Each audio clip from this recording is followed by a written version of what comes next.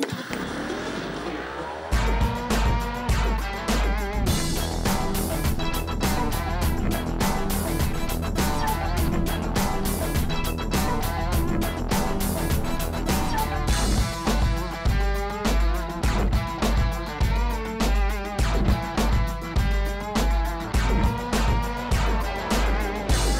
On the hit list this time, a bunch of big hitters who know all about the pleasures and pitfalls of life as a teenage star. Teen diva Gabriella Cilmi grew up outside Melbourne in Australia, but she had to fly halfway around the world to land a record deal. At the age of 13, after being offered four major contracts in the US, she chose to sign with Island Records in the UK.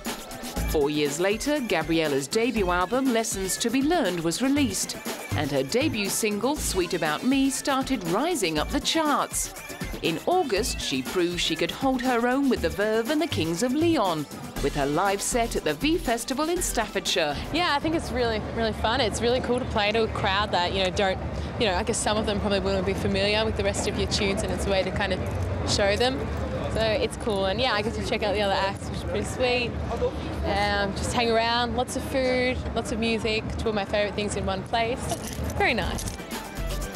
In October, she was back in her home country after being nominated for a staggering six record industry awards. Yeah, I was pretty surprised at that, and it actually puts a bit more kind of pressure on me. So probably would have been nicer if I got a few less. Not really. But. She ended up converting all six nominations into awards, including Best Female Artist and Breakthrough Album, as well as highest selling single for the smash Sweet About Me. Two months later, she capped that high with a nomination for Best International Artist at the 2009 Brit Awards. She couldn't quite believe her luck as she walked the red carpet on the way into London's Roundhouse.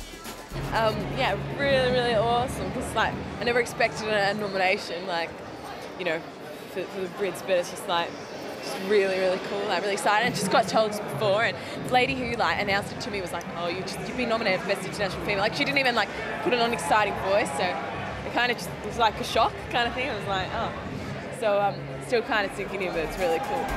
At just 17 years of age, she was already learning to talk the talk about the outfit.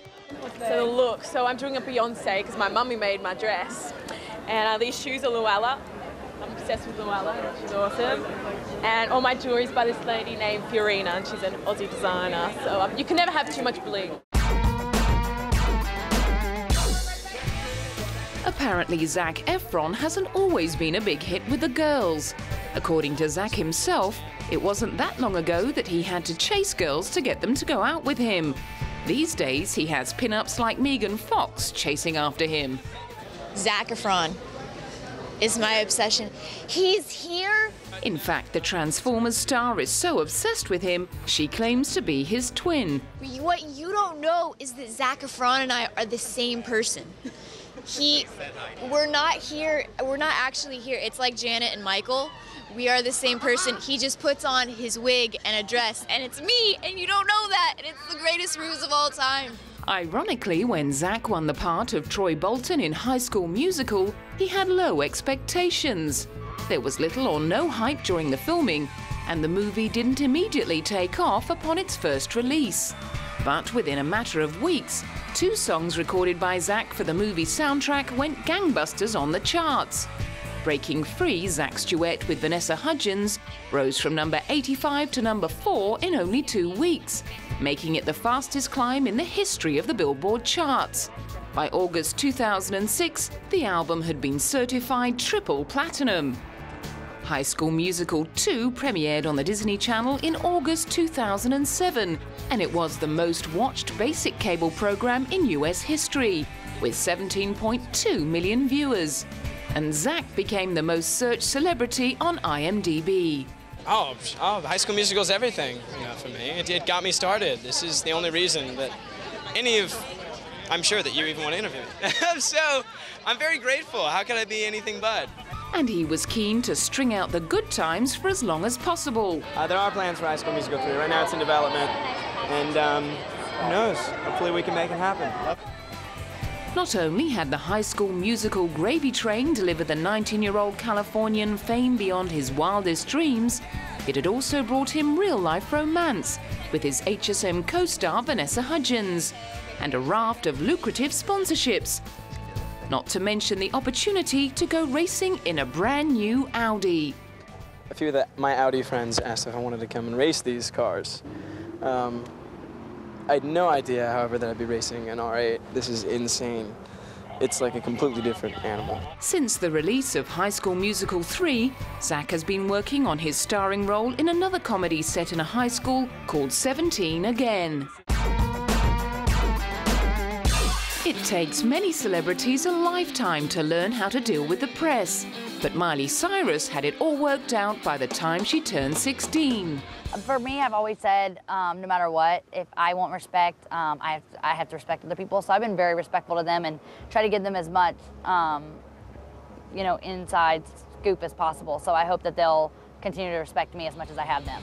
She'd managed to keep smiling through media rumours that she'd fallen pregnant to her then boyfriend Nick Jonas. The devout Christian also kept cool over the furore that erupted over the publication of a photo of her draped in a bedsheet in Vanity Fair. But then the star of Hannah Montana did have a great teacher in Father Billy Ray, whose number one hit, Achy Breaky Heart, turned him into headline news in the 80s. His moment in the sun has been easily eclipsed by his chart topping daughter, who earned $25 million in 2008. Not content with becoming Disney's number one acting and singing star on the back of the Hannah Montana series, Miley was determined to prove she could make hit records on her own. On her second solo album, Breakout, she co wrote eight of the 13 songs. It was long, you know, writing them all out. I would be like falling asleep during writing my songs, but I was like, gotta finish. So I guess just staying up late and writing music no matter what, because you're never off the clock when you're doing an album. Her next big challenge was to lend her voice to a lead character in the Disney animation feature Bolt. She also sang and co wrote the song Lost You, which landed her a nomination for a Golden Globe. I was in my bed, like sleeping, and my phone started ringing. And I was like, what the heck? And I went and picked up my phone. I was like, had a bajillion texts. And I was like, oh my gosh, it's so cool. But it was too early. And now it's starting to kick in now that I'm starting to talk about it. So I'm excited. Not that she'd set her sights on being acknowledged. I don't really keep up with those things because I feel like then that's what it's about when you're writing a song or something. The only reason you're writing it is because you want a nomination or you want something. It should be because you want people to hear your music and you want people to be inspired, not because you want something, you know, an award. Having so much so young, can there be anything left? Hopefully, just a lot of things. You know, hopefully, I don't get to stuck to the same routine. I want to travel a little bit more, and uh, I'd love to go on another tour. So, hopefully, I mean, just keep doing what I'm doing and finding new ways to make it fun. Rather like Zac Efron, the Jonas Brothers can't go anywhere without being screamed at. Before we were standing around, we were like, wow, this is a lot going on. We were kind of blown away. It was pretty amazing. We were having a blast. Since rocketing to fame on the back of their self titled album and their support tour of Miley Cyrus, Kevin, Joe, and Nick have scored their own headlining tour, a 3D concert film, and a television series. So, how do they keep it real? There's kind of one rule that we've all lived by, and that's um, live at the bottom even if you're at the top. That's something we just live by since we were young, and it keeps you humble, and um, we keep each other humble, and it's good that we have brothers to do this with. And like fellow Christian Miley Cyrus, the boys have been careful not to fall in with the wrong crowd. We also we surround ourselves with um, people that we know will either be a good influence or you know be that share the mi- same mindset as that we do, uh, because that is you know a key ingredient to a downfall is the people that are around you and who are influencing you. So we, we pay very close attention to who that who is around us and who our friends are. It was baby brother Nick's early start in show business that kick-started the group's career. After being discovered singing in a barber shop at the age of six, he'd become a Broadway veteran and was writing his own songs by the time he was 12. Already interested in Nick, Columbia Records were rubbing their hands with delight upon discovering he had two equally talented older brothers at home. Since then, the boys from New Jersey have been living the dream. Living the dream is definitely one of our slogans. It, uh, I don't know, it's definitely one of those things that uh, we say before we go on stage every night because it's so true. Uh, for example, last night was definitely one of those moments when we walked on right before the show and we were about to walk on the stage for the first time, you know, here in England, and we were like, wow, this is actually happening, you know, and it's it was an amazing, amazing feeling. Living the Dream also became the title to their 2008 reality series, which is not to be confused with the Disney Channel movie Camp Rock, in which they play members of a group called Connect 3, or Jonas, the Disney Channel original series, about the boys' attempts to juggle pop stardom with real life. Um, it's it's funny. Like uh, you you really you really have to like kind of sit back sometimes and take it all in. You know, whenever you play a show in front of a lot of people and at a venue you dreamed about playing one time, you have to kind of sit back and be like, man, like this is actually happening. Few people can lay claim to having led lives of such interest to the general public to warrant an autobiography by the age of 14. But by then, Welsh child star Charlotte Church had already sold millions of albums and become a household name around the world. She'd sung for the Queen, the Pope, and Bill Clinton. But the little girl who wowed the world with her arias and religious songs hadn't started out wanting to be a classical singer. When I was eight, I was singing, I was belting big Whitney Houston songs out because my auntie Caroline's a professional cabaret singer in Wales, and um, because she had nodules at quite a young age, she said to my mum, you know, I think you should take her to a singing teacher. And so I went to uh, Louise Ryan, who is now my singing teacher.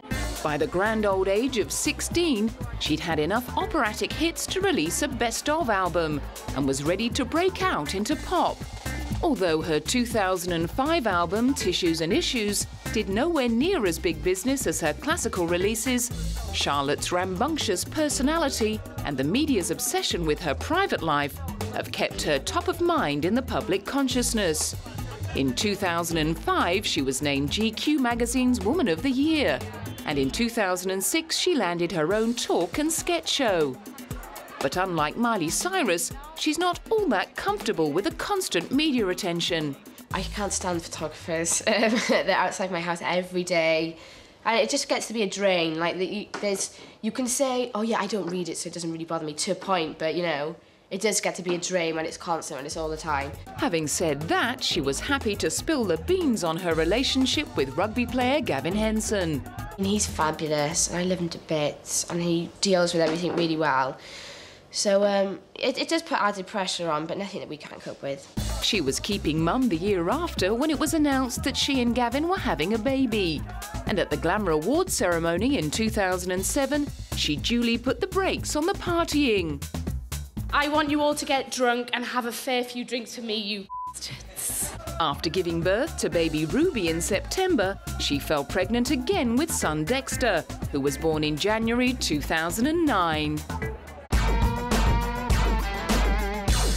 Ashley Tisdale is just one of 14 stars to bolt out of the High School Musical stable. Along with Zac Efron, Vanessa Hudgens and Corbin Bleu, the former Ford model was flung into the spotlight thanks to the wildly popular response to the first installment in the HSM franchise after it aired on the Disney Channel in 2005.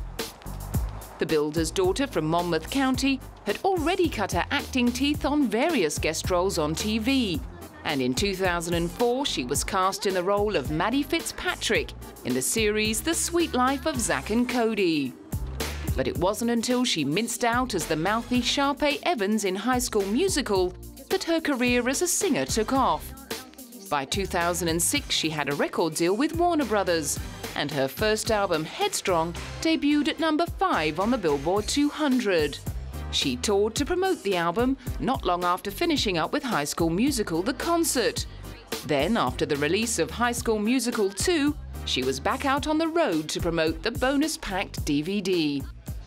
Well, you're going to find uh, music videos, you're going to find a rehearsal cam, which takes you from the beginning of rehearsal to the finished product. You're going to find, um, oh, a new number, actually, like a, a, musical number between me and Ryan that's performed for Troy called Huma Huma Nuka Nuka Apawa. It's on the CD, and it's a, now you can finally see it in the movie. So it's, it's exciting, and also the movie, of course. That level of energy and enthusiasm has powered the young star through endless launches, premieres, and award shows over the past four years. And arriving at the Emmys as a star of three nominated shows, she was showing no signs of slowing down. It's really exciting. I think it's like just one step closer to, you know, best actress of the Emmys. You know, I'm like, I've always, you know, I've always really, my goal is to win an Emmy one day. So, um, so I, you know, getting, you know, one step closer to it, having three shows nominated is pretty cool. So, you know, who can say that? and like fellow teen queen Miley Cyrus, she's preparing for that big moment by getting very serious about her red carpet fashion choices. Um, it's a Mandalay dress, Stuart Weitzman shoes, and Chanel jewelry. Um, I, uh, my stylist came over and had tons of dresses, and I really wanted something that was, you know, rockish, glittery, girly glam, and this, this was it. I thought this was amazing. I was like, this is exactly what I'm thinking. New kid on the block, David Archuleta forged his path to early fame through the treacherous territory of the grueling reality talent show American Idol. Having avoided eviction and survived Simon Cowell, he made it to the final two on the seventh series of the show in 2008. Ahead of the grand final, there were plenty of people putting their money on the 17-year-old from Miami. Well, I think David Archuleta, he's a lot more wholesome. He's a lot um, more appealing to younger kids and to their moms, very non-threatening, and you know, could definitely fit in well with like the High School Musical crowd, or just you know, his he could be a good pop star in that sense. He's very clean cut. You know, he's cute, but in a non-threatening kind of way. Um, he's not really a man yet. The top honours ended up going to 25-year-old David Cook, but Archie was still a hero in his hometown. The fact that the pint-sized popstar was able to sing at all was something of a miracle, after he suffered partial vocal paralysis but declined risky surgery. Early on in the show, his version of John Lennon's Imagine earned him the title of the one to beat. When he ended up losing out to David Cook, he was under no illusions about his chances of making it in the real world. Just, I really want to make an album and see how that turns out, and if music um, doesn't go as far as I was hoping it would be, I, then I will focus on, hope, you know, I still want to complete an education and, uh, yeah, you know, school's really important, especially after all this ends. You don't, you know, it'd be nice to make a living off of it, but you never know. For the time being, he was going to make hay while the sun shone. Soon he'd released a self-titled album and taken on the challenge of filming a video clip. You know, it was a lot of fun. I was a little nervous at first because I was wondering, oh, am I going to be able to pull it off? I don't know if I'm a very good actor or anything like that. but it, it was it was really easy and it was a lot of fun to do. And I think it it went really smoothly. And uh, it was just a lot of fun to be able to, you know, get into character and the story of the whole thing and uh, be able to kind of like work with other kids my age in the music video. Suddenly, everyone wanted a piece of him. I guess I never realized that it would actually happen to me the way it has. And that's pretty crazy to see how it goes. And, you know, with all the with all the gossip and rumors and uh, uh, celebrity stories, and people always want to know everything about your about what's going on with every little bit of your life. But I guess that's what comes with the, this whole thing. Rihanna is the first artist from Barbados to win a Grammy Award. She took out that honour for Best Rap Collaboration for her single Umbrella in 2008 at the age of 20. The award came almost a year to the day since she'd first heard the song that went on to become a worldwide number one. It's funny because I heard the song the night before the Grammys and I knew, I just knew I wanted the song. I was just like, the song is mine. I have to have it. I listened to it all day at the Grammys, you know, the, getting ready for the Grammys. I prayed about it, kept my fingers crossed. I had a lot of people fighting for it behind me, and we eventually got it. No doubt it was that determination, along with Rihanna's talent and beauty queen looks, that persuaded Jay Z to sign her to Def Jam Records at the age of 15. Her debut album, Music of the Sun, spawned the hit Pon de Replay, and she got to ditch school and move to New York. I hated school. Um, even though I had a lot of friends at school, like just the idea of having to go to school, was the worst thing. but thank God, I still do school, but it's one-on-one with a tutor, and mm-hmm. it's a lot easier and a lot better that way. And I'm still, you know, pursuing a career and living a dream at the same time at 17 years old. And all without any formal training. I used to listen to Beyonce growing up. I used to listen to a lot of Destiny's Child and Mariah Carey and Whitney Houston, and I was influenced highly by those artists, R&B artists, of course. So that's why I sing a lot of R&B over reggae beats. Dancing, it was just always a part of my culture. So I didn't go to dance classes or dance lessons. I just grew up dancing because it was a part of the Barbadian and the Caribbean culture. Two years later, the schoolgirl was all grown up. Her third album, Good Girl Gone Bad, brought with it a radical change of image. I've grew a lot, you know, I, I got tired of that generic image that I used to have and I just wanted to be a lot more edgier. I wanted to be funky, I wanted to do me it and have more fun with my image, you know. It wasn't fun before. It was just one strict thing. And now I can do whatever I want and it's kind of just being rebellious. I just don't care who likes it who hates it. I, I like it, and that's what matters. I just want to do what I want. Her rebelliousness earned her eight hit singles, a romance with fellow teen star Chris Brown, a Grammy Award, and the Venus Breeze title of Celebrity with the Best Legs. When asked how she earned the coveted title once held by Mariah Carey, she was happy to give away her secret. Lots of cardio. Cardio is the secret to great legs. Native New Yorker Emmy Rossum seemed to come from nowhere to star in the 2004 big screen version of Andrew Lloyd Webber's stage musical Phantom of the Opera. However, despite the fact that she was only 18 years old at the time, she'd already made quite a splash in the opera world. The story goes that she was invited to join the Metropolitan Children's Chorus at the age of seven, after singing Happy Birthday in 12 different keys. As a teenager, she sang six languages in 20 operas at the Met, before turning her attention to screen acting. In the year 2000, Variety magazine named her one of 10 to watch after her debut big screen performance in Songcatcher. No wonder she felt quite at home on the set of Phantom. You know, it's one of the exciting things about working on a show with like big, big sets and big costumes and period costumes is it kind of feels like I'm back at the opera, especially when you're with such beautiful music.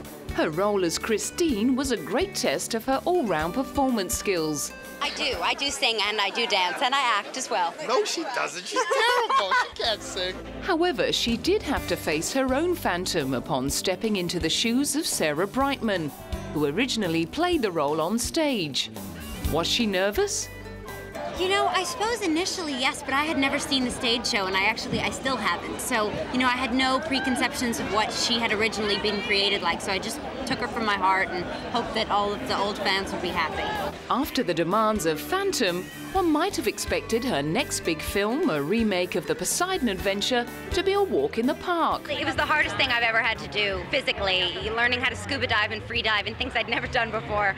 Um, and coming from Phantom of the Opera, which was so pretty and, and, you know, singing and sucked into those corsets, here I just had to be raw and emotional, and they threw me in the tank, and that was my hair and makeup. After that, she got down to the rather drier business of recording her debut album Inside Out. In 2009, she made a glamorous return to the big screen in Dragon Ball Evolution.